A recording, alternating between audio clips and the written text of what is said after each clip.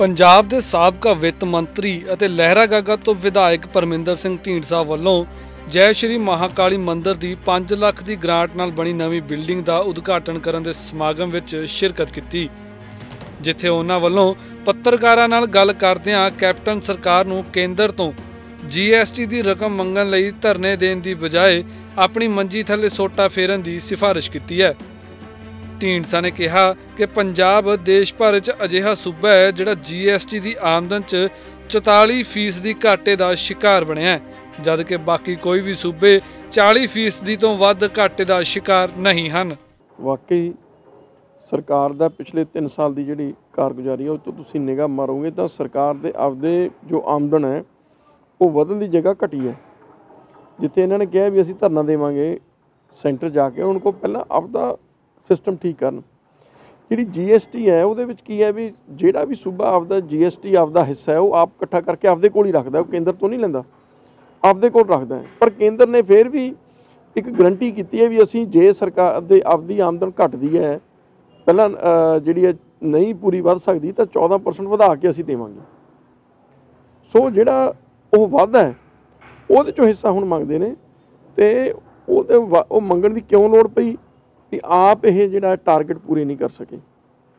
ਪੂਰੀ ਜਿੰਨਾ ਪੈਸਾ ਇਕੱਠਾ ਕਰਨਾ ਚਾਹੀਦਾ ਸੀ, ਨਹੀਂ ਇਕੱਠਾ ਕੀਤਾ, ਸਮਾਂ ਕਾਰਗੁਜ਼ਾਰੀ ਪੰਜਾਬ ਦੀ ਟੈਕਸ ਕਲੈਕਸ਼ਨ ਦੀ ਪੂਰੇ ਹਿੰਦੁਸਤਾਨ ਵਿੱਚ ਸਭ ਤੋਂ ਮਾੜੀ ਹੈ। ਸਭ ਤੋਂ 44% ਸ਼ਾਰਟਫਾਲ ਹੈ ਜੀਐਸਟੀ ਕਲੈਕਸ਼ਨ ਦੇ ਵਿੱਚ 40 44% ਦੀ ਸ਼ਾਰਟਫਾਲ ਬਾਕੀ ਕਿਸੇ ਸੂਬੇ ਦੀ ਵੀ 40 ਤੋਂ ਵੱਧ ਨਹੀਂ ਹੈ ਕੱਲਾ ਪੰਜਾਬ ਹੈ ਜਿਹਦੀ 44 ਤੋਂ ਵੱਧ ਹੈ। ਦੈਟ ਮੀਨਸ ਵੀ ਪੰਜਾਬ ਸਰਕਾਰ ਕਿਤੇ ਨਾ ਕਿਤੇ ਕਤਾਹੀ ਕਰ ਰਹੀ ਹੈ, ਕਿਤੇ ਇਹਨਾਂ ਦੀ ਟੈਕਸ ਕੰਪਲਾਈਂਸ ਠੀਕ ਨਹੀਂ, ਉਹਦੇ ਵਾਸਤੇ ਅੱਜ ਕੇਂਦਰ ਨੂੰ ਦੋਸ਼ ਦੇਣਾ। ਆਖਰ ਜੀਐਸਟੀ ਜਿਹੜੀ ਹੈ, ਉਹ ਕੇਂਦਰ ਨਹੀਂ ਹੈ ਜੀਐਸਟੀ ਕੇਂਦਰ ਤੇ ਸਾਰੇ ਸੂਬਿਆਂ ਨੂੰ ਮਿਲ ਕੇ ਹੈ। ਇੱਕ ਤਿਹਾਈ ਵੋਟ ਕੇਂਦਰ ਦੀ ਹੈ ਦੋ ਤਿਹਾਈ ਸੂਬਿਆਂ ਦੀਆਂ ਨੇ। ਤੇ ਉਹ ਜੀਐਸਟੀ ਤੇ ਕੰਪਨਸੇਸ਼ਨ ਫੰਡ ਦੇ ਵਿੱਚੋਂ ਹੀ ਪੈਸਾ ਪੰਜਾਬ ਨੂੰ ਮਿਲਣਾ ਜੇ ਉਹ ਕੰਪਨਸੇਸ਼ਨ ਫੰਡ 'ਚ ਪੈਸਾ ਹੀ ਨਹੀਂ ਹੈਗਾ, ਉਹਦਾ ਮਤਲਬ ਵੀ ਸਾਰੇ ਸੂਬੇ ਜਿਹੜੇ ਆਪਦੀ ਟੈਕਸ ਕਲੈਕਸ਼ਨ ਟਾਰਗੇਟ ਤੋਂ ਪਿੱਛੇ ਰਹਿ ਗਏ। ਇਸ ਲਈ ਸਰਕਾਰ ਨੂੰ ਆਪਦੀ ਪੀੜ੍ਹੀ ਥੱਲੇ ਜਿਹੜਾ ਹੈ ਸੋਟਾ ਫੇਰਨਾ ਚਾਹੀਦਾ ਪਹਿਲਾਂ। ਕਾਂਗਰਸ ਪਾਰਟੀ ਨੂੰ ਕਰਪਸ਼ਨ ਦੀ ਜੜ ਦੱਸਦਿਆਂ ਢੀਂਡਸਾ ਨੇ ਆਖਿਆ ਕਿ ਸਰਕਾਰ ਅਤੇ ਅਫਸਰਸ਼ਾਹੀ ਸੂਬੇ ਨੂੰ ਸੰਭਾਲਣ ਅਤੇ ਲੋਕਾਂ ਲਈ ਕੰਮ ਕਰਨ ਤੋਂ ਬਿਲਕੁਲ ਹੀ ਫੇਲ ਹੋ ਚੁੱਕੀ ਹੈ। ਅਫਸਰਸ਼ਾਹੀ ਤੋਂ ਵੀ ਕੰਮ ਲੈਣ ਦਾ ਤਰੀਕਾ ਹੋਣਾ ਚਾਹੀਦਾ ਦੂਜਾ, ਜਿਸ ਤਰ੍ਹਾਂ ਦੀ ਇਹਨਾਂ ਦੀ ਸਰਕਾਰ 'ਚ ਕਰਪਸ਼ਨ ਦਾ ਬੋਲਬਾਲਾ ਹੈ, ਜਿਸ ਤਰ੍ਹਾਂ ਲੁੱਟ ਹੋ ਰਹੀ ਹੈ, ਉਹ ਸੁਭਾਵਕ ਹੈ ਵੀ ਅਫਸਰਾਂ ਦੀ ਵੀ ਇੱਕ ਹੱਦ ਹੈ ਲਿਮਟ ਹੈ ਵੀ ਉਹ ਇਹਨਾਂ ਦਾ ਪ੍ਰੈਸ਼ਰ ਝੱਲਣਗੇ।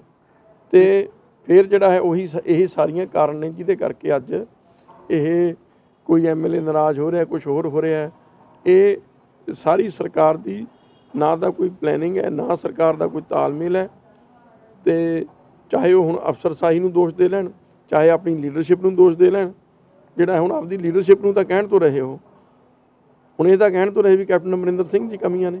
ਉਹ ਹੁਣ ਉਹਨਾਂ ਦਾ ਚੱਕ ਕੇ ਠੀਕ ਬਿਊਰੋਕ੍ਰੇਸੀ ਦੇ ਸਿਰ ਤੇ ਭਰ ਦਿੰਦੇ ਆ।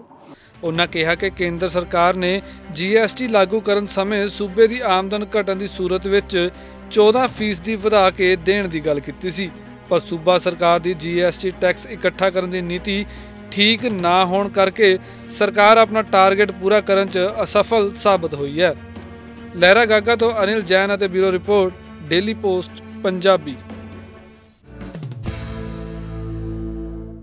Sat Sri Akal ਸਾਰਿਆਂ ਨੂੰ। ਜੇ ਤੁਸੀਂ ਕੈਨੇਡਾ ਸਟੂਡੈਂਟ ਵੀਜ਼ੇ ਤੇ ਜਾਣਾ ਚਾਹੁੰਦੇ ਹੋ ਔਰ ਆਪਣੇ ਮਨਮਰਜ਼ੀ ਦਾ ਕੋਰਸ ਚਾਹੁੰਦੇ ਹੋ, ਤੇ ਮਈ ਔਰ ਸਤੰਬਰ ਸੈਸ਼ਨ ਵਿੱਚ ਅਪਲਾਈ ਕਰਨ ਦਾ ਇਹ ਸੁਨਹਿਰੀ ਮੌਕਾ ਹੈ। ਪਿਰਾਮਿਡ ਈ ਸਰਵਿਸਿਜ਼ ਨਾਲ ਨਾ ਹੀ ਸਿਰਫ ਤੁਸੀਂ ਹੁਣ ਅਪਲਾਈ ਕਰਕੇ ਆਪਣਾ ਆਫਰ ਅਪਲਾਈ ਕਰ ਪਾਓਗੇ, ਬਲਕਿ 3 ਤੋਂ 5000 ਡਾਲਰ ਦੀ ਸਕਾਲਰਸ਼ਿਪ ਵੀ ਟਾਈਮ ਸਿਰ ਅਪਲਾਈ ਕਰਕੇ ਹਾਸਲ ਕਰ ਪਾਓਗੇ।